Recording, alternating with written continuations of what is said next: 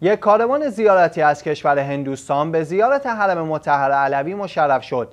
کاروانی از شیعیان هندوستان طی سفر به عتبات عالیات به زیارت بارگاه مطهر امیر المومنین علی علیه السلام مشرف شده و مورد استقبال خادمان بخش روابط عمومی آستان مقدس علوی قرار گرفتند.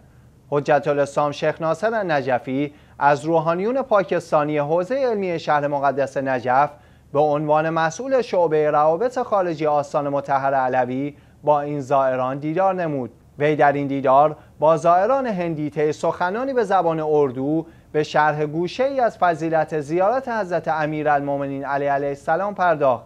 در پایان این دیدار نیز مجموعه از کتب احکام شرعی به زبان اردو به این زائران اهدا گشت.